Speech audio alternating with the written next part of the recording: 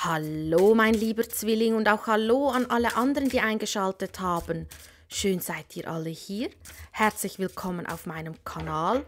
Vika Stern, lieber Zwilling. Lieber Zwilling, heute schauen wir uns die Karten an für den Monat Mai. Wir schauen uns dein Hauptthema an, was auf dich zukommt, der Rat der Karten und wie immer, was liegt im Schatten. Lieber Zwilling, vergiss bitte nicht, das ist eine allgemeine Legung, das heißt, es kann nicht für alle passen. Und darum ist es auch wichtig, dass du wirklich auf deine innere Stimme hörst und dieser auch vertraust, weil sie sagt dir ganz genau, welche Botschaften von dir gehört werden müssen und welche eben nicht. Lieber Zwilling, ich werde jetzt neu mit Extended Reading anfangen, aber nicht bei allen Videos. Einfach als Information, falls du dich fragst, warum gibt es bei einigen Videos Extended Readings und bei anderen nicht. Das sind so Fortsetzungsvideos, die man auf meiner Webseite dann erwerben kann. Einfach für dich als Information. Und auch wenn du das Gefühl hast, du brauchst einmal ein persönliches Reading, biete ich das auf meiner Webseite an. Link ist weiter unten. Ja, lieber Zwilling, fangen wir doch an. Dein Hauptthema, dein Hauptthema. Was musst du wissen? Mai. Weissagungen. Weissagung. Entschuldige.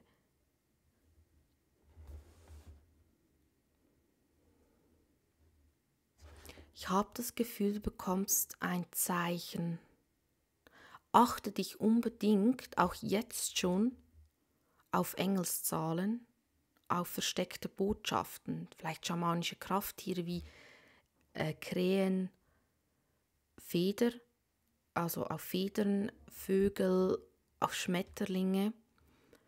Achte dich wirklich darauf. Bekommst du ein Zeichen vom Universum, weil du wirst eins erhalten. Irgendeine Botschaft. Nehme ich hier ganz stark wahr. Kann auch eine Begegnung sein, die dich an etwas erinnern wird oder die dir irgendeine Antwort geben wird. Nehme ich wahr.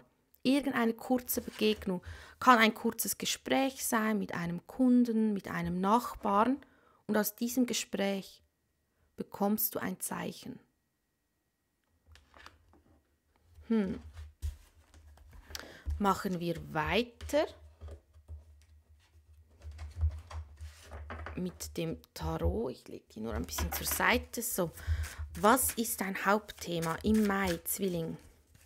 Im Mai, Zwilling.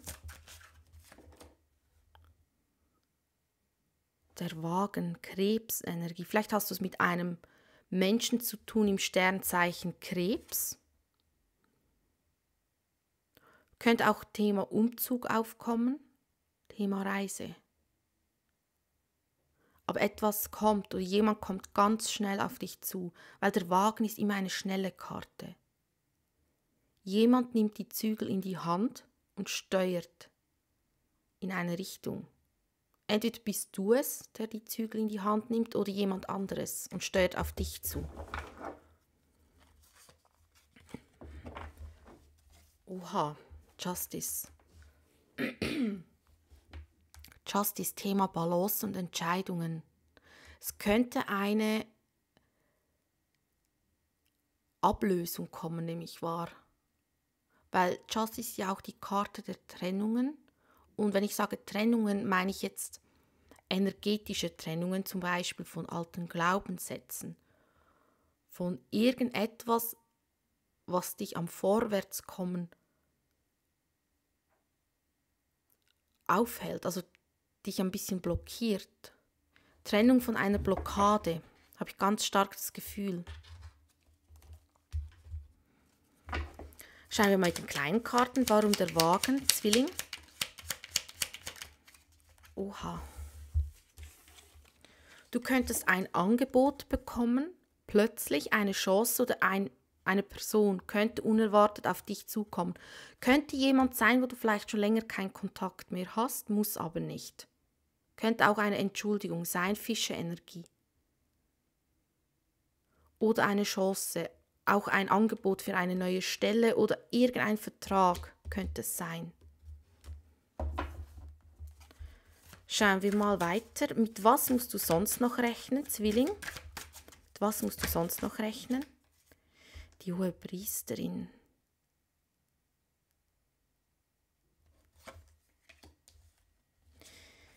Was musst du sonst noch rechnen, Zwilling?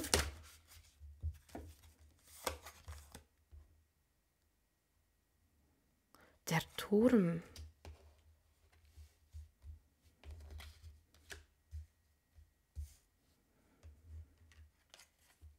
Die Mäßigkeit. Ui. Ein bisschen Acht geben. Einige werden vielleicht ungewollt schwanger, nehme ich wahr. Natürlich nicht alle. Oder euer Gegenüber wird ungewollt schwanger. Aber nicht alle natürlich, ganz, ganz wichtig. Jetzt nicht irgendwie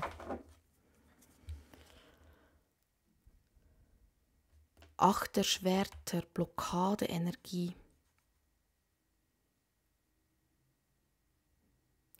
Warum der Turm dazwischen? Warum?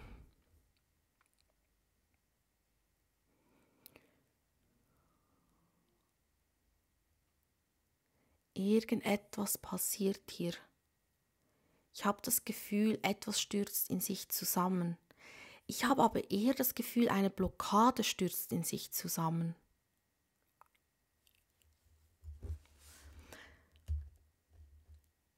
Weil die hohe Priesterin eine sehr spirituelle Karte kann auch Vorbote sein mit einer Seelenverbindung. Vielleicht hast du es mit einer Seelenverbindung zu tun oder auch das Thema wer bin ich oder was möchte ich? Ich habe das Gefühl, hier kommt ein starkes Bewusstsein und das rüttelt etwas auf. Und durch dieses Aufrütteln wird aber gleichzeitig irgendetwas in Gang gesetzt, was entstehen möchte oder am Entstehen ist dann, aber langsam. Schauen wir mal genau rein. Warum die hohe Priesterin Zwillingenergie? Zwilling, warum? Kann sein, dass sich hier jemand wieder meldet, wo du eine Seelenverbindung spürst, wo du vielleicht längere Zeit keinen Kontakt hattest. Könnte sein, muss aber nicht. Oder dass dir durch eine Pause, Ruhepause, irgendetwas bewusst wird, Rückzugsenergie. Kann auch sein, dass sich dein Seelenpartner zurückzieht, falls du gerade jemanden so hast, die Welt. Irgendein Kreislauf möchte sich schließen. Könnte auch etwas aus dem Ausland sein, falls du eine Fernbeziehung hast. Warum der Turm? Warum? Ja, was habe ich gesagt? Blockaden, die zusammenbrechen. Acht der Schwerter. Du vernichtest irgendeine energetische Blockade, ist sehr gut. Warum die Herrscherin? Warum? Wow. Zehn der Münzen. Ui, hier passiert etwas. Ganz gut. Ganz, ganz, ganz gut. Irgend. Es, ist, es fühlt sich fast so an, als würde man einen ersten Schachzug machen oder den ersten Dominostein für das Glück setzen. Aber er fällt noch nicht, ist noch nicht so weit. Aber der erste Schritt wird gemacht. Kann auch Thema Beruf sein, dass du hier irgendetwas Neues ins Leben rufst. Kann auch mal nur energetisch gedanklich sein, aber es wird dich zu zehn der Münzen führen. Falls du jemanden hier hast, also jemanden kennenlernst oder eine Seelenverbindung auf dich zukommt, könnte hier etwas entstehen. Schauen wir mal weiter, lieber Zwilling. Huch. Wow. Ja, ganz stark Vergangenheitsperson. Und jetzt ganz wichtig, wenn ich sage Vergangenheitsperson, meine ich nicht zwingend Vergangenheitsperson aus diesem Leben. Es kann auch sein, dass in diesem Leben, dass das das erste Treffen ist. aber du kennst die Person schon aus einem vorherigen Leben. Muss nicht das ähm, zweite Treffen in diesem Leben sein. Kann auch das erste Treffen sein. Ganz, ganz wichtig. Vor allem für die, die jetzt denken, oh nein, Vergangenheitsperson. Ich meine das energetisch gesprochen. Ich hole schnell die andere Karte. Einen Moment hoch. So,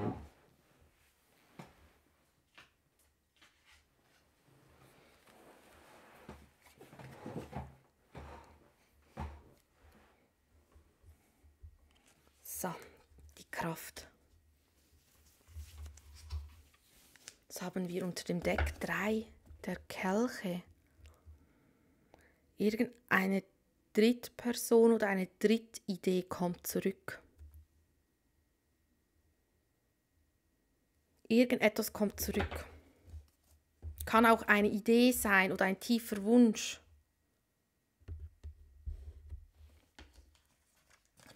Wir haben hier Löwe-Energie und Zwillingsenergie. Die Kraft ins tiefe Vertrauen gehen. Kann sein, dass ein jemand auch mit äh, Löwe-Energie auf dich zukommt oder du findest das Vertrauen zurück oder ihr findet das Vertrauen zurück. Oder du findest das Vertrauen zurück. Weil hier kommt eine Chance, Ass der Münzen.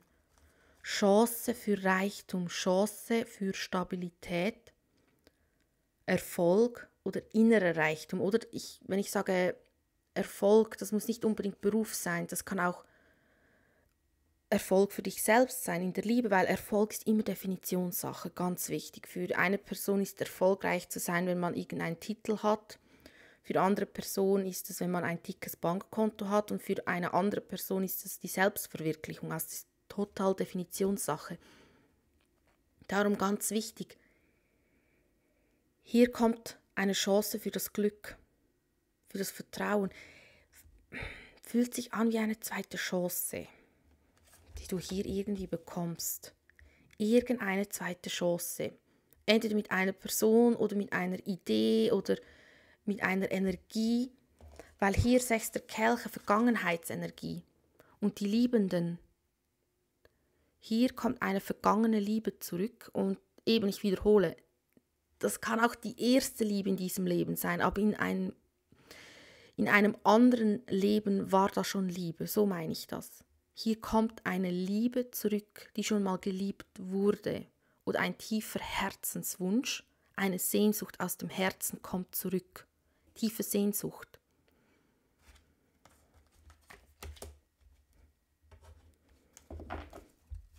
Warum die Kraft? Ja, hier kommt etwas oder jemand. Etwas wird in Gang gesetzt. Ass der Münzen. Ja, weil du verlässt hier den alten Pfad. Du lässt diesen Pfad hinter dir, lieber Zwilling. Warum Ritterstäbe könnte auch jemand sein, wo du nur eine Affäre hattest, falls du diese Person schon kennst. Oder diese Person oder diese Idee oder was auch ist, diese Erinnerung, dieser Gedanke kommt plötzlich schnell. Ja, irgendeine Drittidee, eine Drittperson, irgendetwas kommt zurück.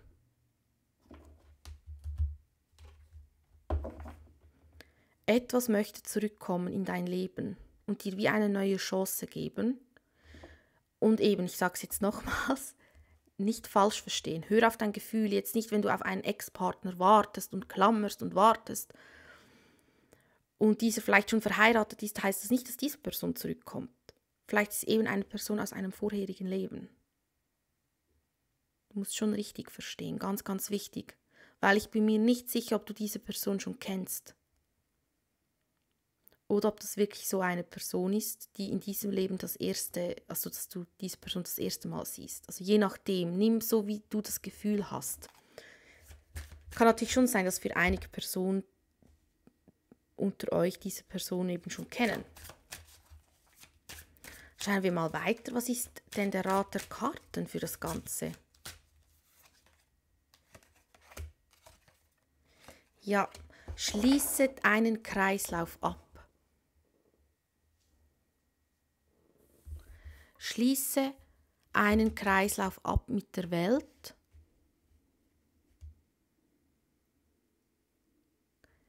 Mit neun der Schwerter Ängste, wirklich diese alten Ängste loslassen, Triggerpunkte loslassen, hinschauen und verarbeiten, nicht unter den Teppich kehren, sage ich mal.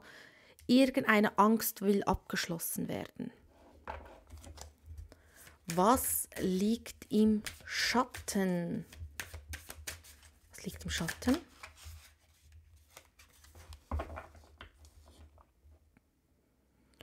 Drei der Stäbe.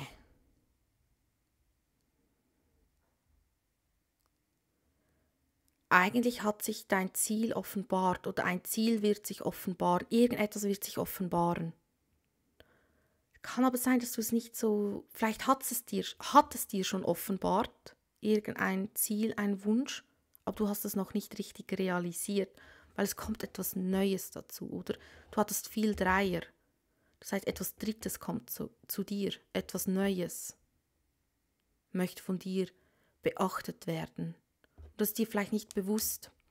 Was dir vielleicht auch nicht bewusst ist, dass du genau hinschauen solltest, welcher Weg ist der beste. Vielleicht ist eben der Weg, den du im Kopf hast, vielleicht der schnellste, denkst du jetzt im ersten Moment, aber vielleicht eben nicht der beste. Überdenke den Weg, nämlich wahr.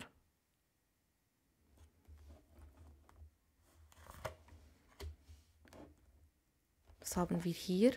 Achterstäb, ja, eine Nachricht. Eine Nachricht kommt auf dich zu. Ja, lieber Zwilling, ich mache weiter im Extended Reading. Ich werde es dir unten verlinken, falls du das Gefühl hast, dieses Reading resoniert ganz, ganz stark mit dir, darfst du gerne weiterschauen. Eben Link ist in der Bio. Und für alle anderen, danke vielmals fürs Zuhören, Zuschauen und bis zum nächsten Mal. Ciao.